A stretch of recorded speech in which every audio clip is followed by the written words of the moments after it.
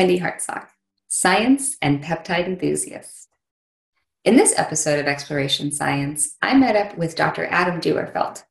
He's an associate professor at the University of Minnesota and also a co founder of Excitant Therapeutics.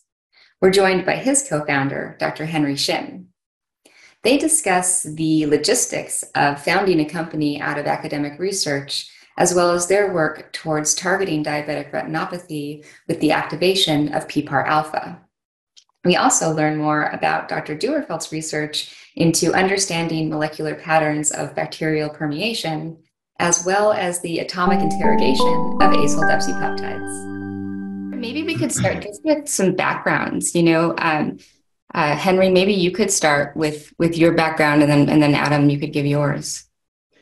Yes. So um, my name is Henry Shin. I am co-founder and CEO of Excitant Therapeutics, which um, I co-created with Adam and Dr. Jay Ma. Um, my background um, is from physiology. So I did PhD in physiology under the mentorship of uh, Jay Ma and I studied uh, eye diseases. Uh, so that's how I first began my research career in the eye field. At the time, I was working on human uh, genetic disease that affects the uh, a very small number of people around the world, but there is um, no cure for it. And I was very interested in that project and um, ended up kind of developing my passion for eye research that way. But being in grad school, I mean, there were a lot of uh, um, downs, then ups. so a lot of the times I pondered, like, what's the meaning of my research? Like, how does it actually, you know, turn out to be uh, relevant to society out there? So I've always wondered, um, like, how what we do on the benchtop becomes relevant um, to people out there outside of the lab. So towards the uh, end of my graduate career, I began to think about industry connection. Um, I wanted to see how the science translates to uh, a drug product. So that was something I uh, slowly began interested in. And then um, towards the end of my school, uh, I chat with Dr. Ma and uh, told him this is kind of career I envision. Um, I want to kind of stay away from academia. and uh, uh, I think I was at the right place at the right time because uh, Dr. Ma was also thinking about um, a uh, potentially commercially viable project.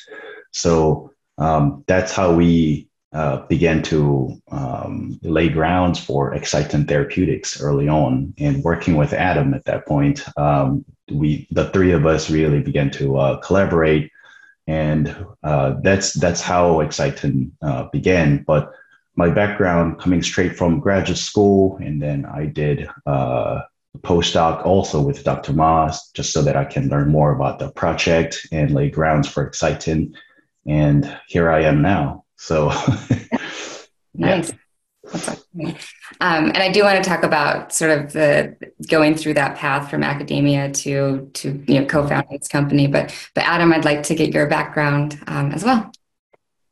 Sure. So um, born and raised in Iowa. Um, went to uh, my undergraduate education was at a small liberal arts college, um, Central College in Pella, Iowa.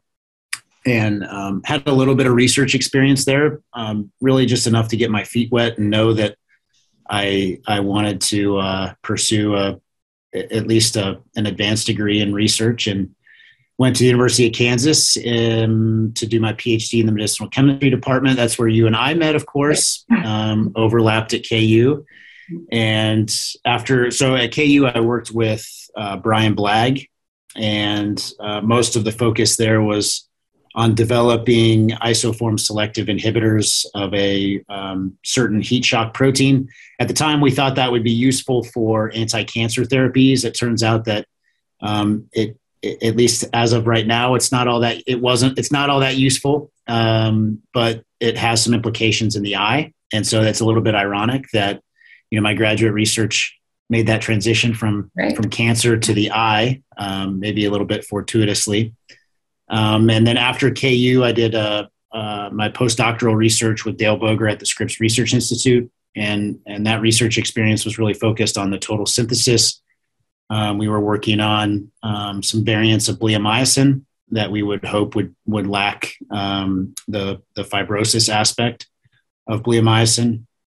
Um, and then uh, after Scripps, I started my independent career at the University of Oklahoma in the Department of Chemistry and Biochemistry. Um, that's, of course, where I crossed paths with Jay Ma and Henry, and we started collaborating on on this um, project for retinal diseases. And um, you know, I, I, think the only other thing I'll add here is, you know, the one of the major reasons that I decided to go into academia is because you know it really does provide the opportunity to do basic research in an academic setting, so pursue your own research ideas, but then at the same time, uh, you can translate some of the discoveries that you make, and so you get you get some experience in in the pharma and industry side of things as well. So, um, yeah. Awesome. So then, yeah, maybe we can talk a little bit first about Excitant um, Therapeutics, um, what the the um, disease states that you're that you have programs for, and then, like I said, I really want to talk about the the, the pathway of how you both got to to where you are, to being co-founders of the company. Yeah, Excitant Therapeutics is focused on developing um, drugs for eye diseases, of course. And our primary target is diabetic macular edema. It's a complication of diabetes where uh, patients would develop microvasculature problem in the eye.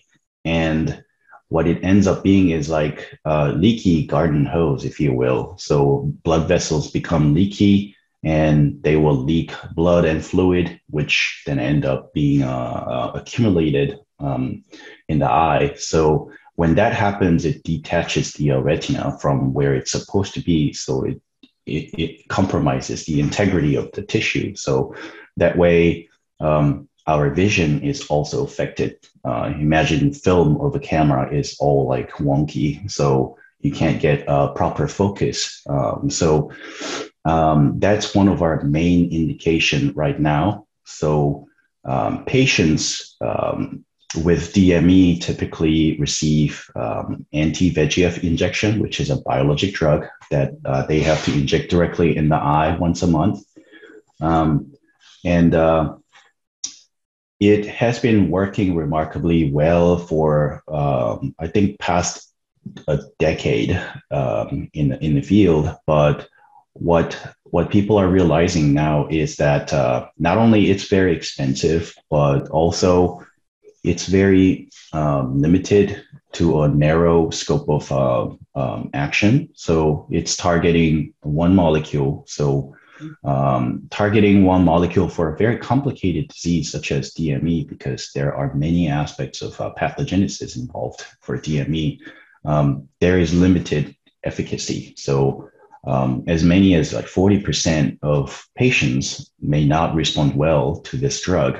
Um, and the only other option they could uh, resort to is uh, laser therapy. So, um, laser photocoagulation would basically help cauterize the uh, blood vessels that are leaky, but at the same time, it leaves the irreversible damages to the uh, retina because it's literally just burning it off, right? So, patients may lose uh, peripheral vision due to uh, laser photocoagulation, et cetera. So um, our treatment options are really not um, ideal for sustainability for long term, um, particularly for diabetic patients because they it's a chronic disease. So um, we are focused on developing oral drug. So uh, we are trying to develop a safe uh, oral pill or tablet that can address the problem without having to inject eye um, at all or not as often. So I have to say that that's something I find horrifying. The the eye injections. It just yes. I can't imagine. So because yeah, I, I, can't even touch my eyes with uh, contact lens, and right. I, I, can't imagine getting injections. Yeah, it's, it's it's kind of funny because you know you talk to the the clinicians, the people that administer the the treatments, and you talk to some of the patients as well. And you know, I, I apparently the treatment actually is not painful or anything, um, but it's when you when you aren't part of that world and you hear about the treatment. You know, I when I teach when I teach our medchem course, here to pharmacy students, you know, this is one of the stories I tell um, in terms of our, our research and how we do, you know, structure activity relationships and those sorts of things. And I always bring up what we're trying to do and what current treatment is. And you see, you see some students a little squeamish when you talk about eye injections, but um, yeah. Yeah, I'm yeah, I'm squeamish about it myself. um, so you know, I was I was reading some articles. Thank you for for sending those links, by the way, um, about sort of the way that um, the molecule. I guess was already in the, the your lead molecule. I guess it looked like it was in a clinical trial, so it had a unique path of how you found your your lead compound for um, uh, for this company. Can you talk about that a little bit? So to clarify, our compound yes. is preclinical stage, uh, okay. so it ha- mm-hmm. has not been tested in clinics yet. But um, rationale is where we uh, uh, were inspired by clinical trials that have targeted the same molecule. So um, we are going off of uh, a two large clinical trial um, that used a drug called fenofibrate Mm-hmm. And these two trials, field and accord studies, they have tested fenofibrate um, for its effect on cardiovascular outcome in type 2 diabetic patients. Uh, but what the two studies have found serendipitously is that fenofibrate was working remarkably well for preventing um, worsening of diabetic retinopathy progression. Mm-hmm. Um, and having to receive first time laser therapy in those populations. So, uh, unfortunately, the issue with the fenofibrate, though, is um, there it, it is um, not the most potent and selective compound for PPAR alpha. Uh, so, PPAR alpha is the molecular target we're going after, and fenofibrate is a uh, uh, moderate agonist of uh, PPAR alpha, but uh, in terms of selectivity and potency, it's not the, the best that's out there. So um, fenofibrate inherently exists, uh, it exhibits uh, dose-limiting toxicity. So what if patients uh, need more dosages of fenofibrate to have a greater effect in the eye? Now, other parts of the body that's exposed to a higher dose of fenofibrate may become issue, especially kidney, for example. If you have kidney complications, which is common in diabetes, right? That's that's a no go, right? So um, that's where our rationale came from. So why, what if we can improve that aspect uh, of PPAR alpha agonism? So target it, target PPAR alpha with more specificity and make it uh, more potent. And um, that's where our lead candidate came from. So um, we are we have tested our lead candidate in various disease models of uh, diabetic retinopathy or uh, diabetic macular edema features uh, in those models, and it looks very promising in terms of um, um, reducing uh, vascular uh, vascular effects in those diseases where they're uh, leaking a lot of blood in the retina or where they're developing uh, pathogenic neovascularization, which is abnormal growth of uh, microvessels in the retina. Um, we're able to uh, uh reduce that as well. So our, our lead compound, um, in short, is a, uh, a, much better version of mm-hmm. uh, what's available out there. And um, Adam will talk more about it. he can talk more about it, but chemically speaking, like it's a unique structure. So it's not not uh, a part of uh, what's known as a fibrate class molecule. So our structure is completely novel and it's not re- really related to uh, a drug that's existing out there. It just targets the same protein, but much better. Okay. Before we get into some of the um, the structural aspects, maybe could we talk a little bit about targeting um, PPAR alpha and and what that how that pathway influences the yes. eye disease?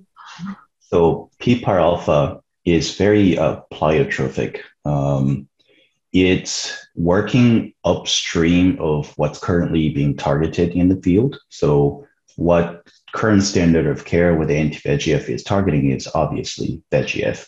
It is the molecule that's responsible for uh, blood vessel growth. Um, it is physiologically relevant. I mean, it helps blood vessels to grow where it needs to, et cetera. But um, in pathogenic condition, it becomes out of control. So there's abnormal levels of VEGF available, and that's what triggers uh, uh, the vascular leakages and vascular uh, growth, etc. So our molecule is actually working upstream of that um, VEGF molecule. So our observation, it it regulates uh, many different aspects of the disease that involves inflammation. Um, it also involves the uh, angiogenesis, and it also involves uh, uh neurodegeneration and um, antioxidative effect, as well as uh, antifibrotic effect. So there are a lot involved in this process, but PPAR alpha works upstream of that. So it regulates inflammation through um, what's known as NF kappa B pathway, or it can also help mitochondrial function. Uh, so it, it kind of restores that function. So, so it would help with the uh, um, um, general like happier homeostasis, um, if you will, of, right. of, of uh, retinal cells. And also, it affects the Wnt pathway, which uh, can help regulate fibrosis aspect or um, angiogenesis aspect. So, yeah, it's pleiotropic effect, and it's very like surprising because one one target can can touch many things like this without limited toxicity. So, yeah. So I, uh, I yeah, go ahead, just, to, just to add quick, sorry. So you know, this was one of the exciting th- the things that excited me as a as a somebody you know interested in translating drug discovery research is you know when you think about the patient population that's unresponsive to anti-VEGF you know perhaps the reason that they're unresponsive is because their disease is being driven more by the inflammatory factors or the fibrotic factors. You know not everybody's disease uh, pathology is the same and so you know this is as a company this is one of the things that really excites us is you know we're still hitting VEGF um, so we, we still have we, we will still be hopefully be able to cover that patient that portion of the patient population that responds to VEGF, um, or at least provide some sort of um, you know amplification of, of, of that treatment, maybe lengthening anti-VEGF treatment or something like that. But the real excitement comes in the fact that we're modulating these other pathways that drive the pathology of the disease, and maybe that will help us address those patients that don't respond to anti-VEGF. So that that was really what sort of mm-hmm. grabbed me as a as a drug, you know, a, a dream drug developer, right? Yeah, so. yeah. Yeah. And so, yeah, I mean, I think it'd be, I, like I've said, definitely want to know more about the molecule, but also, um, yeah, as a modulator of, of, in, of inflammation, um, I guess that'll be kind of fun to design your biomarker studies and, and see like what, what specific cytokines you're upregulating, downregulating. And yeah, I can see getting very excited over that. Yeah, it's interesting you mentioned that because there's a foundation that we've um, had some discussions with, um, and they are very interested in developing biomarkers for retinal diseases. Mm-hmm. And you know, we haven't we haven't moved forward, um, you know, in, in terms of collaborating collaborating with them or anything, but there's some definite interest out there in yeah. looking at the biomarkers of these diseases. Right, right. That's great. All right, talk to me about these molecules. Okay. Um, uh, so maybe just you know we'll back up a little bit. So you know the uh, this was a pretty unique situation, I think, in that I was actually contacted by the Office of Technology Development at when I was at the University of Oklahoma, mm-hmm. and said, "Hey, we have a researcher at OU Med um, that is interested in."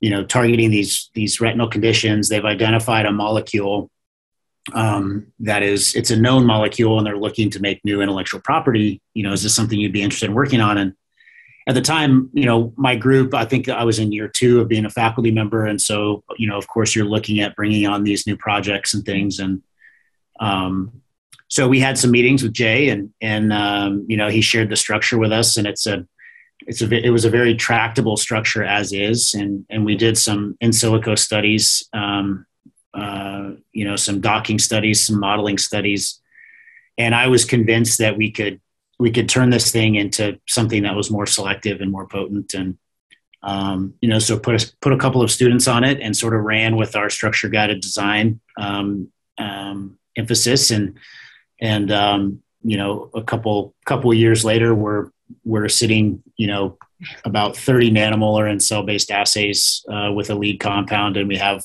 you know uh, over about 3,000 fold selectivity.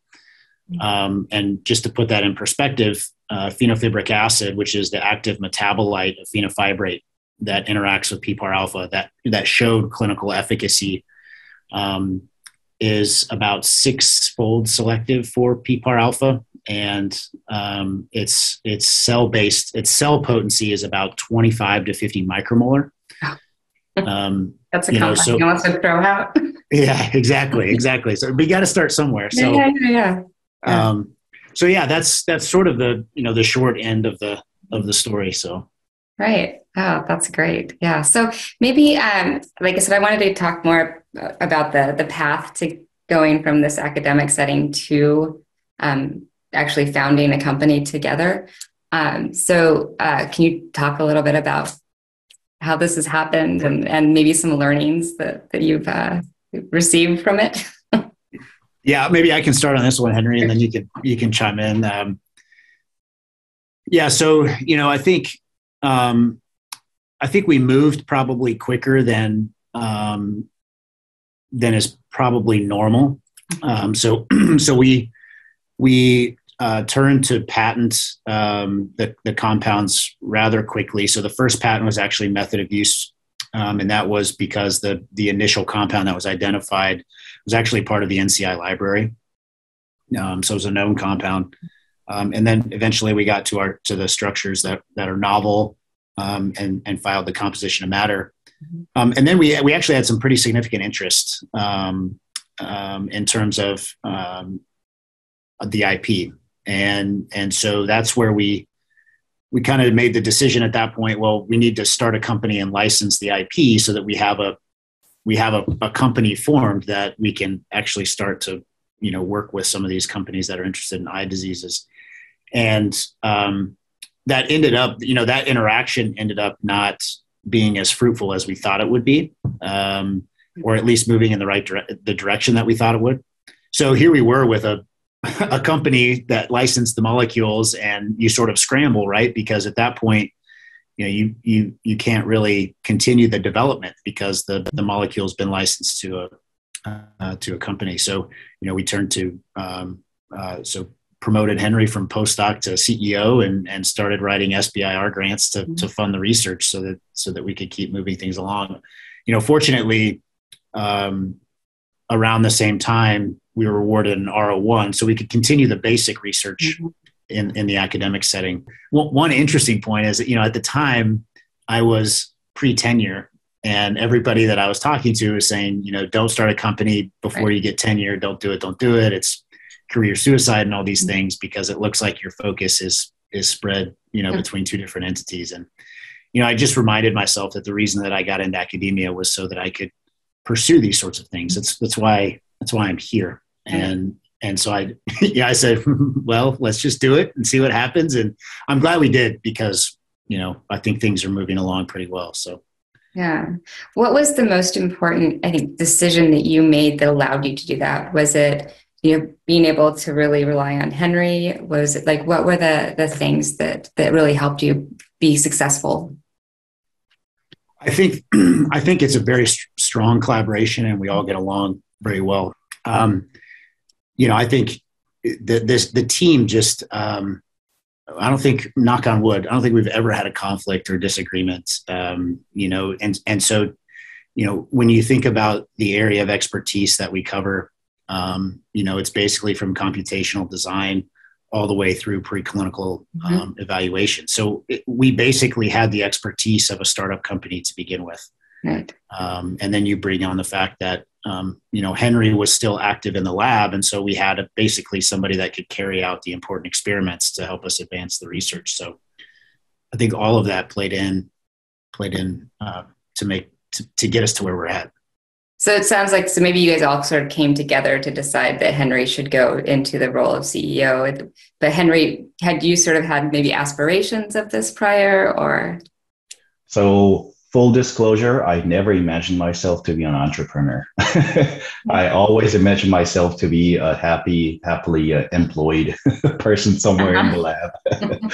um, so yeah, this was not something I aspired to, but um, I grew I grew to love this role more and more as I was actually doing it in the scene. Mm-hmm. Um, so in postdoc uh, era, um, when I was working with Dr. Ma and Adam, um, the idea of creating something from academic lab was very very appealing. Like mm-hmm. all of a sudden it just kind of became a thing for me right? So as i was growing my interest in industry how these drugs are developed and how they get delivered to patients all that aspect like i imagined ourselves as like one of those uh, frontline uh, effort right? Uh, so um, it just happened organically as I was um, taking some of the compounds from Adam's lab and testing them um, when I was working with Dr. Ma. Um, I saw how these molecules work, and now it became a patentable material.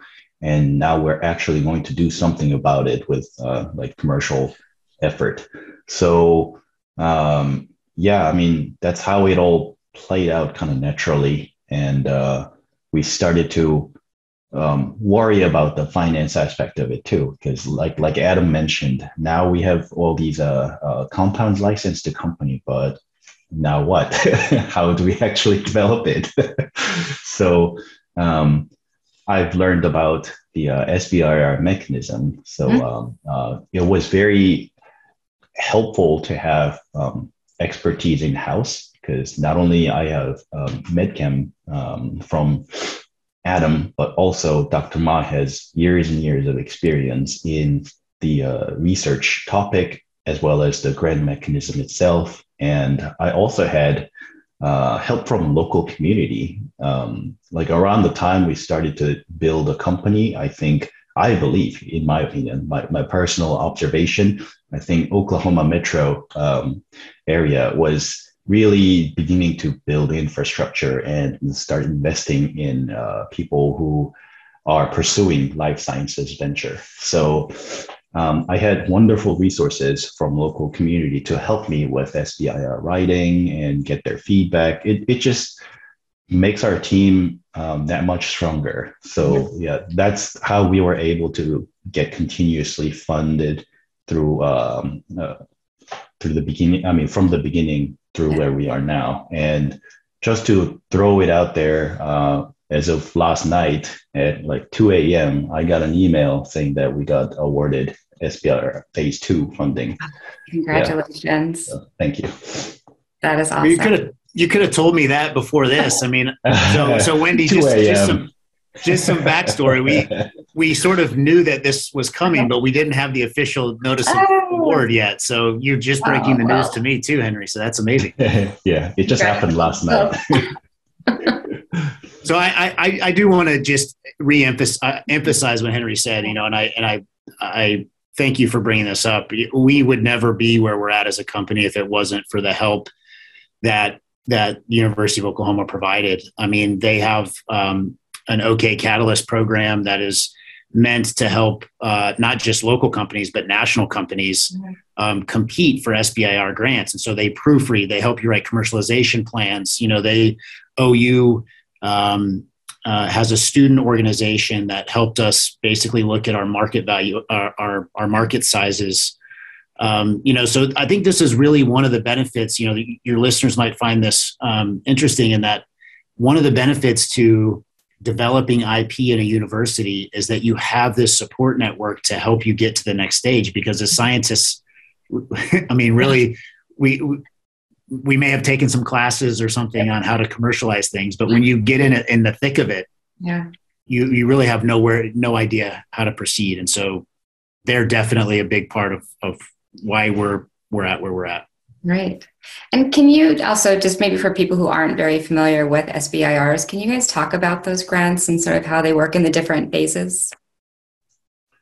Um, so, America, it, I mean, SBIR is known as America's seed money, and it is run by um. I mean, it is run by different agencies, but NIH is one of them. So, DoD also offers it, and uh, uh, different agencies have their own SBIR programs but um, we went with uh, NIH SBIR programs. So um, it is generally uh, two phased uh, program where phase one would be for proof of concept. Um, so you can take your idea. Uh, if you have any preliminary data, that's great. They advertise like you don't need data, but I, I don't know how true that is. Uh, it's always more compelling if you have something to show. Um, but phase one is for proof of concept. And uh, depending on the result of uh, phase one, then you can proceed to uh, phase two, which is focused on commercialization aspect of it. So, like, what do you need to do before you can take it further and close it uh, closer to the market? So, phase two is usually uh, larger in size, but it also demands a lot more uh, in terms of team strength and in terms of your roadmap, etc. So different programs have different uh, focuses. Some are just like investigator solicited. Some are like topic driven. So they would uh, put out their interest topics. Um, but in our case, we were going after National Eye Institute, mm-hmm. and our uh, research area is always of uh, um, unmet need uh, field. So yeah, that's uh, where we targeted. SBIR, I mean, you just have to be a like legit company based in based in the states, and mm-hmm. um, um, there are all these like re- eligibility criteria. But if you are like just um, a genuine U.S. company, uh, don't have like too many employees, then then uh, you can you can uh, sell your idea and uh, pitch your idea to uh, SBIR and get funded. But it's yeah. a very competitive program. Um, it's a very competitive program for us. Even our study section, uh, we're competing against not just vision, but we're competing against uh, um, like auditory and uh, med uh, med tech uh, devices and diagnostics and etc. So it's it's really a free for all type um, competition. So uh, yeah. Again, congratulations on getting the uh, the phase two award. That's awesome. So, um, what what's next for for Excitant Therapeutics? For us, um, mm-hmm. we are uh, our imminent plan is, of course, to complete the phase two project, which um, will take our lead asset further um, down the development path and closer to IND filing with FDA. Um, and uh, that is really the uh, uh, huge, I mean, the number one milestone for us right now to achieve. So that involves IND enabling studies and, of course, prerequisite uh, safety and tox studies in animals before we can push it to human. So that's where um, our focus is uh, fixated right now. Great. Likewise, likewise, though, you know, we're always interested in. Quick plug here. We're always interested in those that are interested in what we're doing. So, um, you know, I think eventually we'll, we need to get to the phase where um, you know, we have some private investment coming in. Um, you know, we've been very fortunate actually that we've been able to bring the IP along as far as we have with non-dilutive funding. Um, but to, we need to continue, you know, to grow the company and and get private equity so that we can continue to build our leadership and and those sorts of things. So um, I think that's you know another big phase for us that we we are are starting to to tackle now. So yeah, I appreciate you mentioning that. Investors take note. well, is there um, anything that uh, I didn't touch on for the company aspect that you that you wanted to people to know about? Mm, we are um, primarily driven by a single molecule right now, um, PPAR alpha, but it has um, really a whole host of application um, possibilities. So we are focused on eye uh, aspect right now because I and Dr. Ma, like we we both are eye researchers, but um, application is uh, definitely possible in other therapeutic areas. So uh, we're also looking to venture into uh, different organs, if you will, and we always uh, want to welcome an idea to uh, discuss a possibility of uh, collaborating, and uh, especially in liver um, or kidney, uh, things like that, that has to do with diabetes. It's it's of a huge interest to us. Great. How about you, Adam?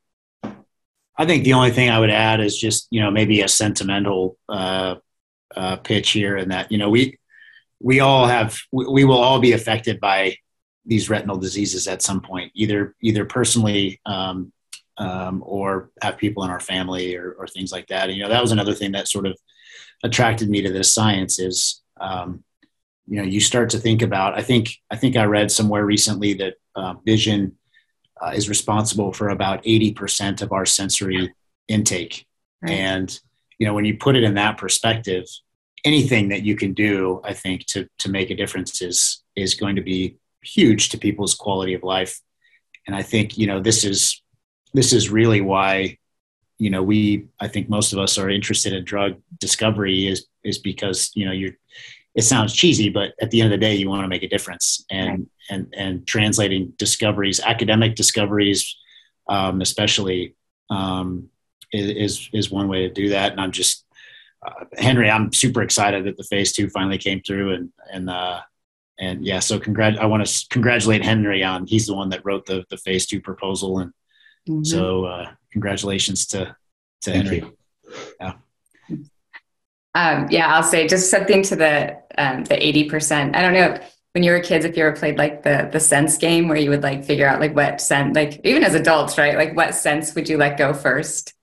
And for sure, for me, I mean, and I think everybody I ever played with, like sight was last. Um, and not to say that, you know, like there aren't compensating features for everything, but but yeah, I, I think that's for me definitely like is the scariest thing to to think about losing.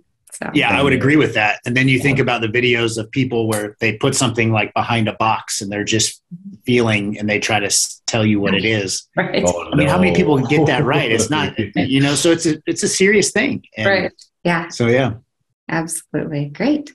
All right. Well, um, yeah. Again, congratulations, Henry. That's awesome on the on Thank the. You, Wendy. Yeah. So, Adam, I know we were going to sort of talk a little bit about your academic research. Um, Henry, you're welcome to jump off. You probably have to go write more grants and find more investors. um, also, welcome to stay. It's, it's all right. Thanks for having me. It was nice meeting you, Wendy. Oh, you as well. All right. Thanks for joining, Henry. No problem. Thanks for inviting, Adam. Yeah. You guys have a great talk. See ya. Bye bye. Bye. So, you know, Adam, I was looking through your um, list of publications on the website, and um, I saw a familiar name. Uh, that's Yushen Lin. And yeah. there's actually she is in one of the episodes um, that I did for this um, this podcast, and and I love her. I mean, she's also going to be at my GRC as a speaker, and you know, we're working on projects together. So yeah. Uh, but maybe you could just start with just giving an overview of all your different research programs that are going on in your lab. Yeah. So first of all, I actually, um, I actually, Yushan was the was the podcast that I checked out. Oh, uh, okay. when you when you contacted me for this, so um, yeah, so she she's incredible. By the way, I actually just contacted her the other day to to see if we could follow up on some of the studies that oh, that we previously published. Mm-hmm. So, awesome. um, but I forgot to mention that I was doing this to her, so I'll have to check back in. Um, yeah, so we we um, we're mainly focused in in two areas, uh, mm-hmm. so retinal and infectious diseases. Mm-hmm. Um, you know, so so we've heard already about the the retinal uh, disease interest, and so I'll, the only thing I'll add to that sort of bin of projects is that you know we're interested in a number of different uh, targets, and so once I started to get in, you know, to the to the PPAR alpha research, mm-hmm. it became very apparent to me that there are you know multiple pathways as we've already talked about that drive these diseases. And um, you know it would be it would be good for us to to start to investigate some of these other targets in, in the hopes that we could develop oral medications that can that can treat retinal conditions. Because you know as henry already mentioned the standard of care is um, is there there's evidence uh, popping up that shows that it, it actually causes, you know, for chronic diseases, it can cause these irreversible effects, scar tissue, blind, you know, peripheral blindness, those sorts right. of things. So, um, and now that we have you know sort of a, a, mass spec method and proof of concept that we can deliver our PPAR alpha agonists um, systemically and that they show up in the retina in concentrations that are meaningful to uh, or, or that are, are necessary for to to drive the efficacy you know that sort of excites me as a medicinal chemist in that there is a way for us to get molecules to the eye through systemic administration and as long as we develop molecules that aren't toxic of course the biggest trick in the book yeah. um, that there's a way to do this. And so we're interested in pursuing other targets, and we're trying to um, we're trying to push some other targets to to the same stage that we have for PPAR alpha. So that's our our you know retinal interest, and then the other interest we have, as I mentioned, is an infectious disease. There's really two areas there that we're interested in. One is very basic research, and and this project is focused. It's an NIH fund, funded project. It's a collaboration with Memorial Sloan Kettering, University of Oklahoma, uh, us here at the University of Minnesota, and then um, uh, Merck. And the whole goal of that project really is to try to understand the properties of molecules um, that dictate whether or not they get into gram negative bacteria. Mm-hmm. And we kind of want to do this in sort of a target agnostic way. So mm-hmm. to start with, we're we're even looking at molecules that aren't antibacterial. We're just interested in do they get into gram negative bacteria or not? Mm-hmm. Um, and the reason that we want to understand this, of course, is because it's very easy to identify molecules that work on bacterial targets in a biochemical setting. Mm-hmm. But as soon as you try to, or as soon as you evaluate those compounds in a whole cell setting, especially against gram negatives, their activity just falls off because mm-hmm. of the, the dual barrier system and efflux pump system that they have. So, if we can understand the properties that influence whether or not molecules accumulate in gram negative bacteria, the idea is that we can start to develop these medicinal chemistry um, tools like a topless tree or Lipinski rules mm-hmm. or these tools that will help us rationally design molecules to get into gram negative bacteria and therefore we can develop new antibiotics. So that's you know more basic research. Um, and then the other set of projects that we have ongoing is i'm fascinated by the idea of overstimulating pathways in bacteria and determining if there's a therapeutic effect or a therapeutic value to that.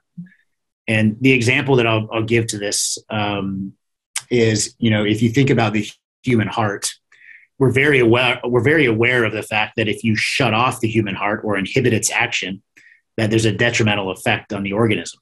Um, what i think we underappreciate is or underestimate is that you get the same exact effect if you overstimulate the human heart right? And and so one of my interests is can we identify targets like that in bacteria that if we just push them over the tipping point um, there's a therapeutic and antibacterial effect that's mm-hmm. associated with that. All right, excellent.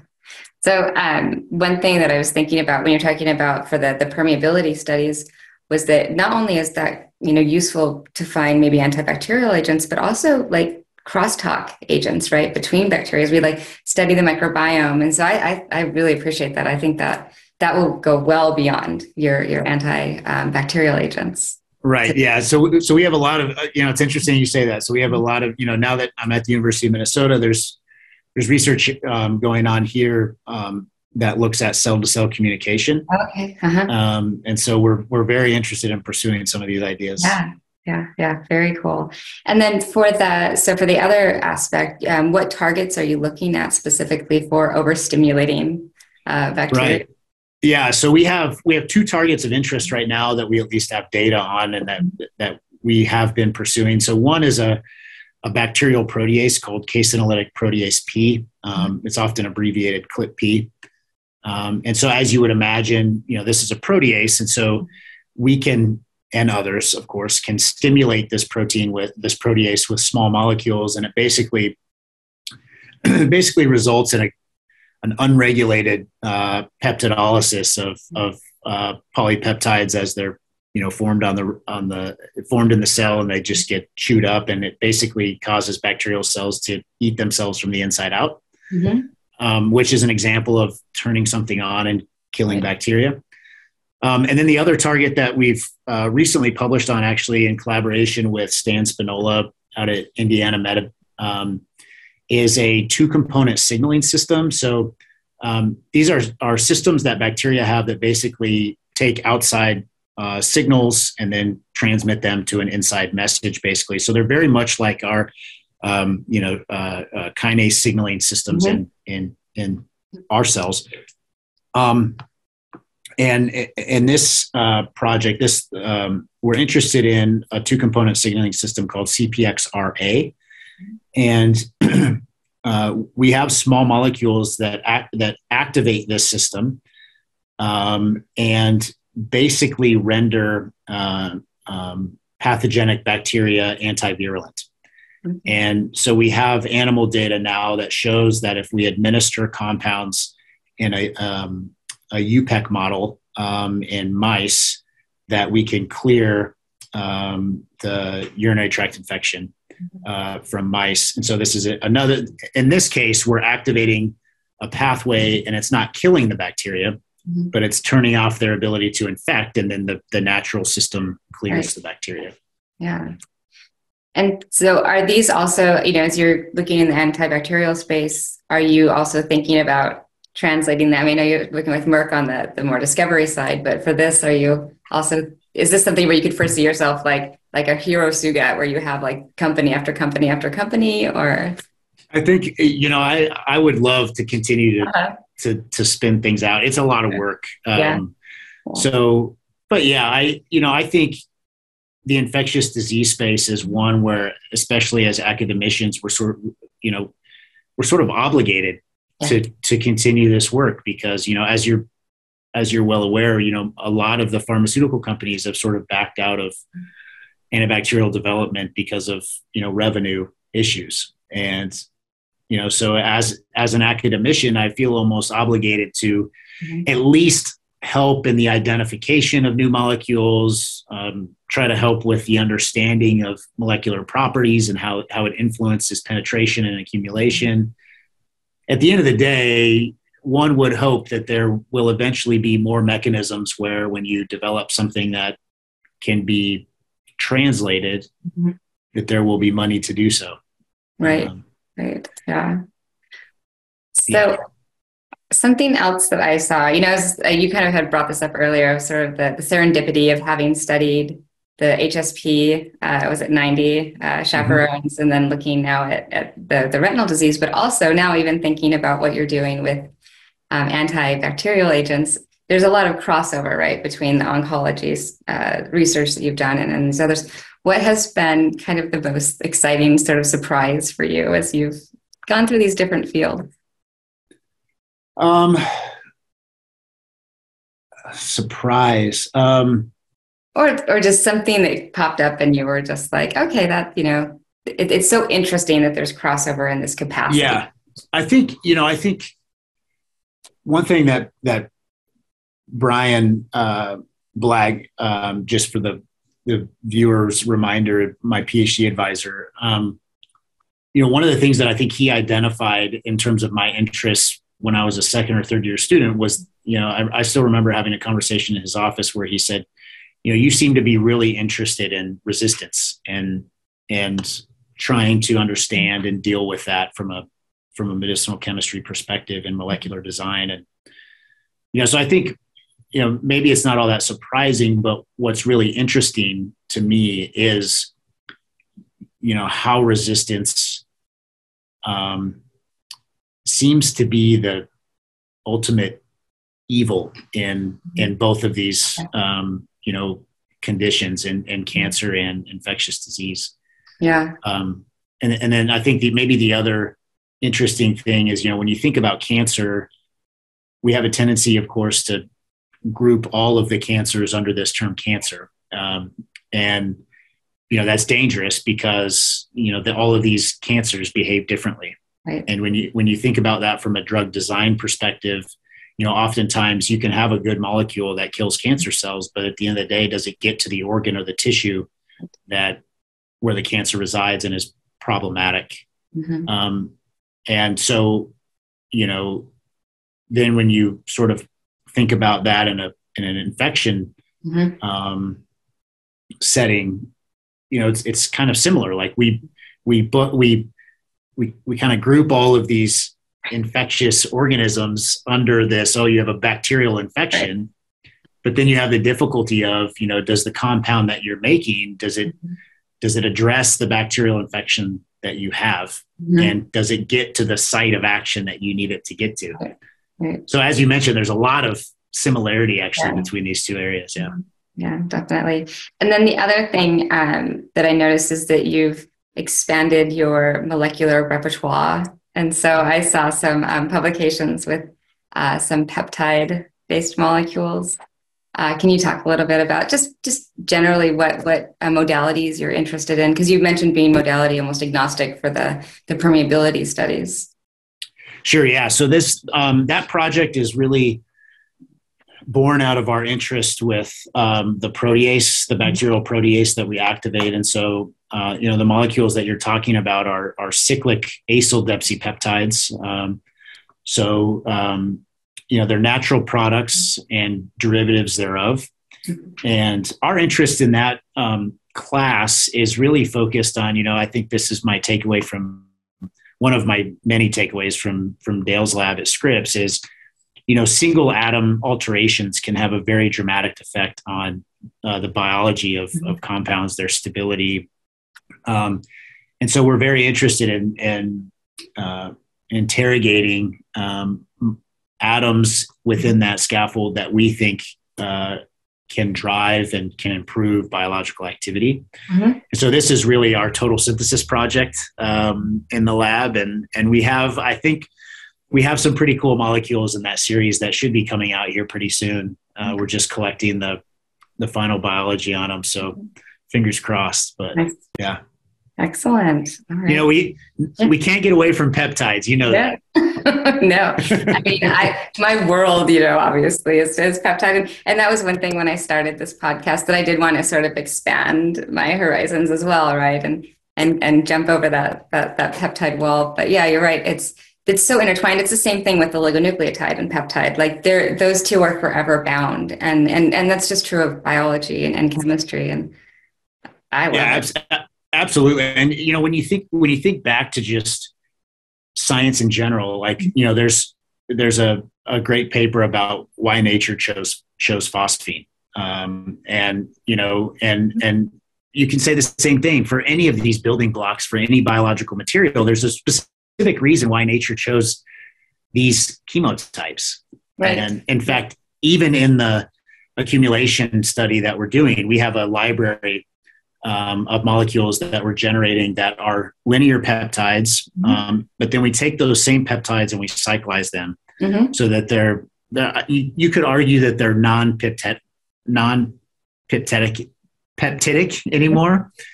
Um, and so we're looking at the effect of, you know, what does conformational constraint of, of um, dipeptides and tripeptides do to the ability of these molecules to accumulate gram-negative bacteria, and can we leverage that in, in, in any fashion? So, yeah, uh, that's fantastic. Well, Adam, was there anything else that you wanted people to know about your research, or? I no, I, I just really appreciate this opportunity. Um, you know, rarely do you get you get an opportunity to talk science with somebody who, you know, you you cross paths with and overlapped with in graduate school. So this is cool. Yeah, awesome. Well, thank you for your time. I really I appreciate it very much. Yeah, and I look forward to catching up at ACS and and chatting a little bit more. But again, thanks for reaching out to me, Wendy, and this has been really fun. Yeah, absolutely. Thanks for tuning in to this episode of Exploration Science. As always, we welcome your feedback and suggestions for topics that you'd like to see covered. You can leave those suggestions in the comments below or tag us on LinkedIn. You can also find this podcast available as a YouTube series by searching Exploration Science. Thanks again for tuning in.